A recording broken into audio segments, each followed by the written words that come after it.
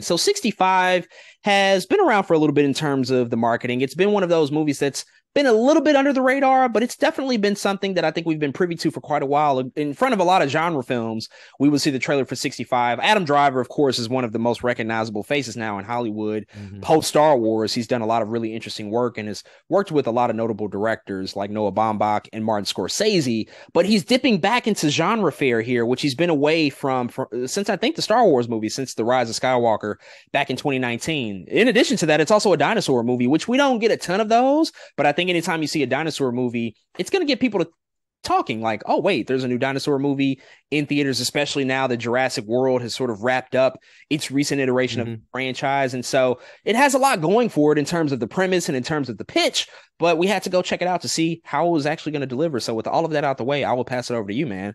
What do you think about 65?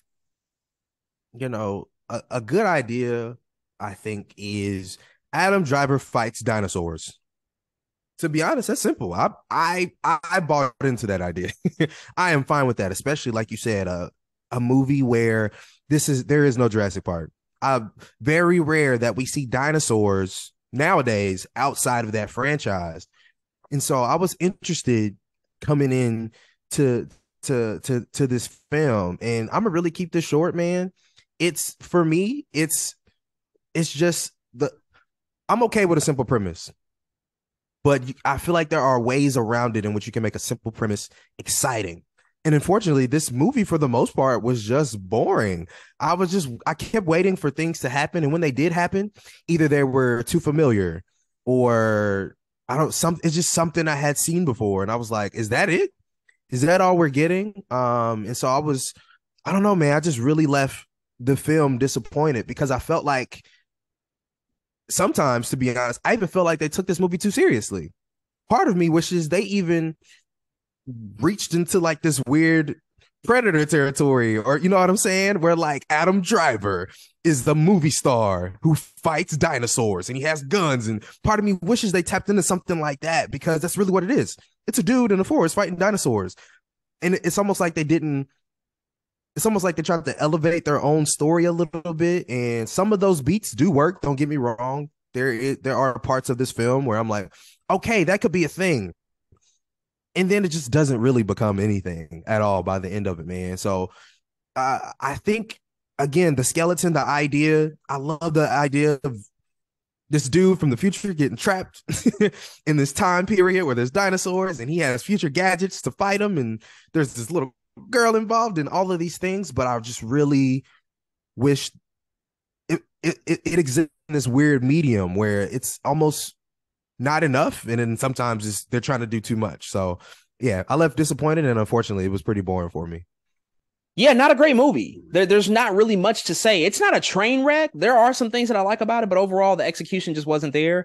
I think the biggest problem mm-hmm. with 65 is the fact that one, that's a bad title. They should have named it something else. Two, the story is really, really thin. I, I, just don't think that there's really much there. A lot of the story takes place in the first 20, 25 minutes in establishing the characters, establishing what's happening, especially like as it relates to Adam Driver's character and his relationship to his family and his daughter in this movie.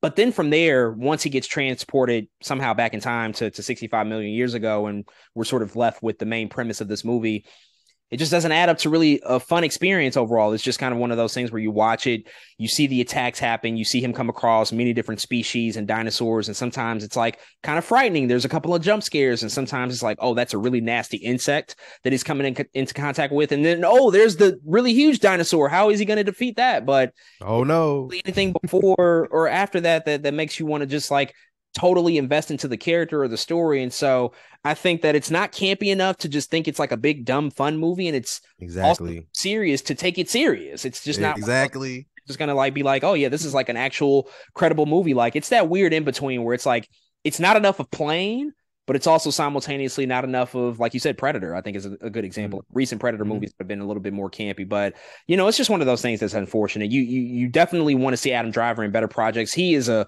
just such an excellent talent in hollywood he's such a fascinating and great actor that can do a lot of different things and and the fact that he was coming back into a genre film i was really really looking forward to that because i think he has the capability to to be a leading man in that respect and potentially be a part of another franchise if he wants to one day. Mm, Doesn't mhm. provide much in the way of hope as it relates to that, but that's that's mostly due to the material that he's working with. It's not because of him himself. He's always going to be fine.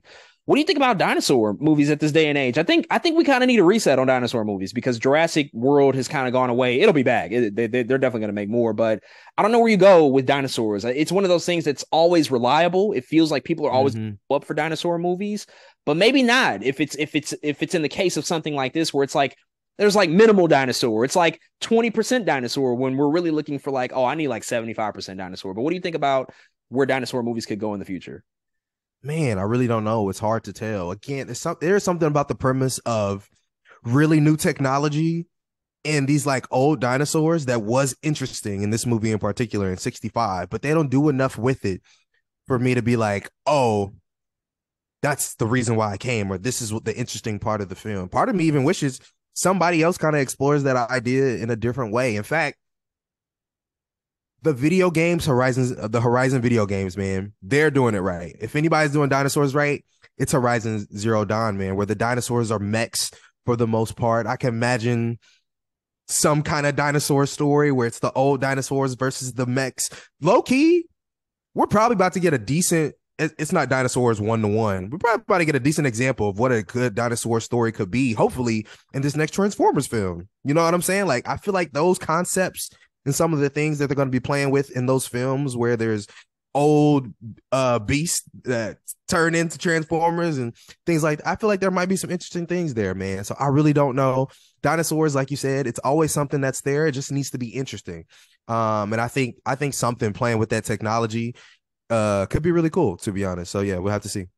Dinosaurs will always work in cinema because people just have a thrill with that, especially considering we did not exist at the time that they existed. But this was forgettable. You cannot create a forgettable dinosaur movie. That's a hard thing to do to create something They that's did it. forgettable with dinosaurs, but they somehow managed to accomplish that. But folks, those are our thoughts on the new science fiction action film 65. If you checked out this movie, definitely hit us up and let us know what you think.